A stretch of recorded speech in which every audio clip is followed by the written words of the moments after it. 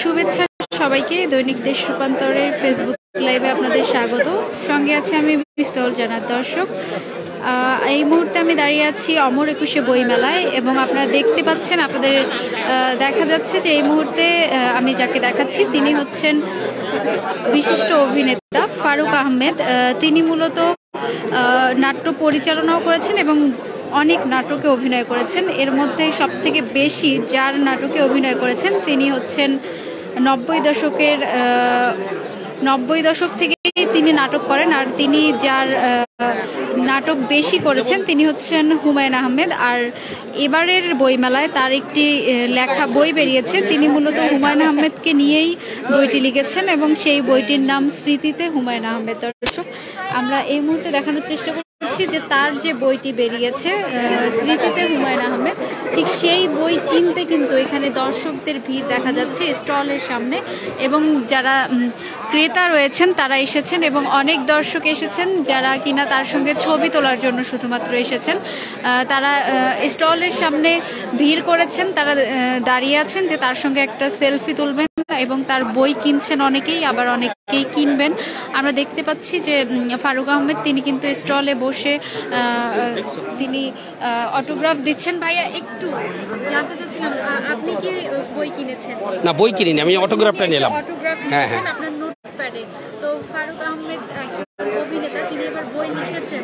তো আপনার মানে কি মনে হচ্ছে যে বই আমি ওনার বইটা পড়িনি ওনার অভিনয়টা খুব ভালো লাগে আমার আমার প্রিয় একজন অভিনেতা এই কারণে আমি ওনার অটোগ্রাফটা নিলাম আর বই কি?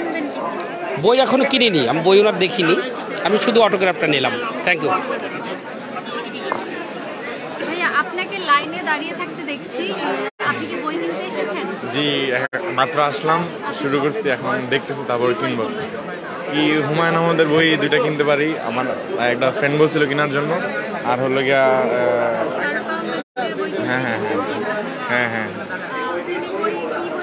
জানেন না না মাত্র আসলাম দেখতেছি দেখে তারপর।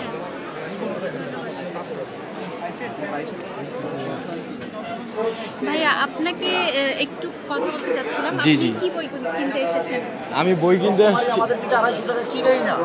আরও বেশি কিনে তাহলে সে কীভাবে আমি বই কিনতে আসি নাই মেইনলি আমি দেখতে আসছি আর কি বই মেলা একটু ঘুরতে আসছি। আর যদি ভালো লাগে তাহলে নিয়ে যাব বাইশের বর্ণা নিকটবর্তী ব্যবধান, তাসরিফ ভাই আর একটা হচ্ছে জুনাইদ ইবান ভাইয়ের।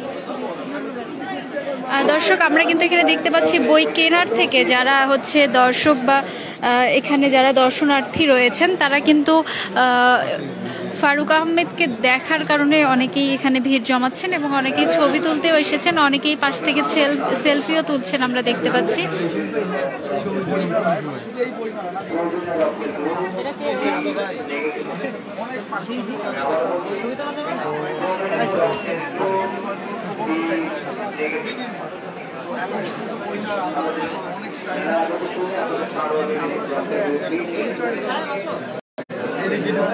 আহ, দর্শক আজ অমর একুশে বইমেলার সতেরোতম দিন এবং সতেরোতম দিন হলেও আজ কিন্তু শুক্রবার ছুটির দিন।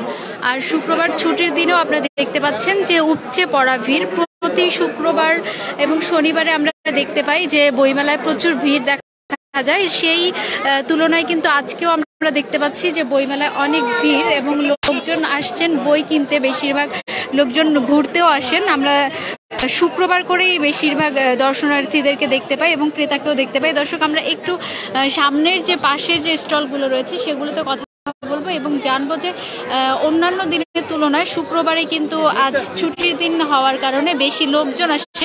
তো লোকজন বেশি যারা দর্শনার্থী আছে বা ক্রেতা আছে, তারা এসে আসলে বই কিনেন কিনা আমরা এটা একটু জানব।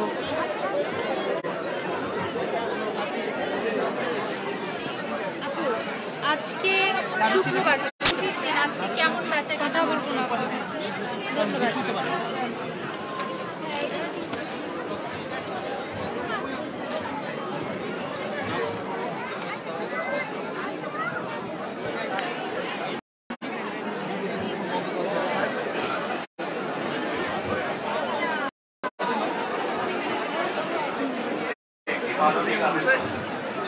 আজকে শুক্রবার না হওয়ায় লোকজনের ভিড় দেখা যাচ্ছে। সারা পাচ্ছেন কেমন এতটুকুই? আলহামদুলিল্লাহ অনেক ভালো সাড়া পাচ্ছি। এখন অনেক কাস্টমার আসছে বই দেখছে তাদের পছন্দ মতো বই কিনে নিয়ে যাচ্ছে।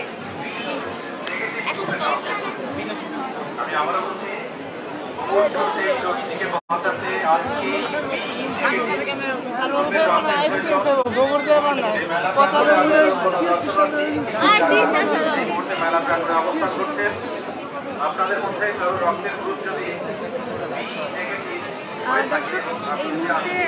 দেখতে পাচ্ছেন যে কি পরিমাণ ভিড় কিন্তু মেলায় দেখা যাচ্ছে।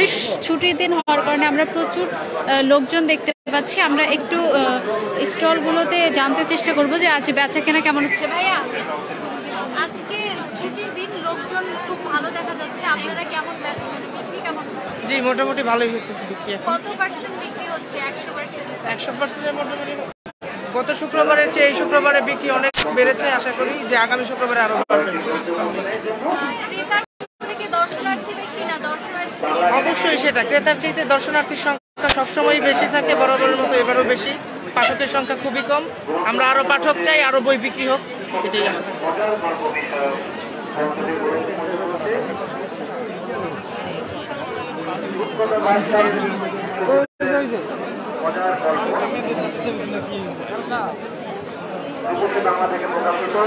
দর্শক, আমরা দেখতে পাচ্ছি যে কি পরিমাণ কিন্তু দর্শনার্থীরা এসেছেন। তারা এই দর্শনার্থীর ভিড়ে আমরা একটু দেখ- দেখার চেষ্টা করব যে আসলে তাদের দর্শনার্থী বেশি না ক্রেতা বেশি। কিন্তু দোকান বিভিন্ন যে স্টলগুলো রয়েছে এবং প্যাভিলিয়নগুলো রয়েছে, সেগুলোতে কথা বলে কিন্তু আমরা জানতে পেরেছি যে দর্শনার্থী সবসময়ই বেশি থাকে, এবারও বেশি। কিন্তু অন্যান্য শুক্রবারের তুলনায় এই শুক্রবারে কিন্তু বিক্রি ভালো হচ্ছে ক্রেতা বেশি দেখা যাচ্ছে।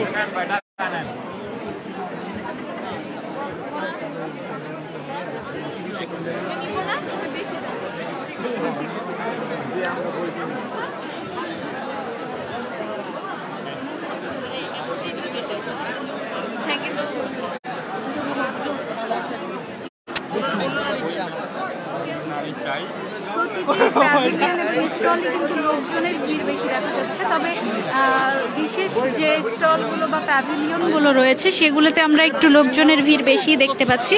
বিশেষ করে অভিনেতা দু একজন অভিনেতা, অভিনেত্রীরা বই লিখেছেন।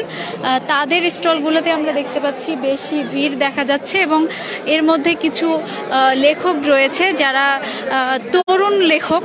এর মধ্যে রয়েছে সালমান মুক্তাদি এবং আহ, আরও রয়েছে বাইশের বন্যা যে বইটি সেটিও সেটিও কিন্তু খুব ভালো বিক্রি হচ্ছে। আমরা দেখতে পাচ্ছি সেই স্টলগুলোতে প্রচুর ভিড় দেখা যাচ্ছে। লোকজন কিন্তু সেই স্টলগুলোতেই বেশি ভিড় করছেন।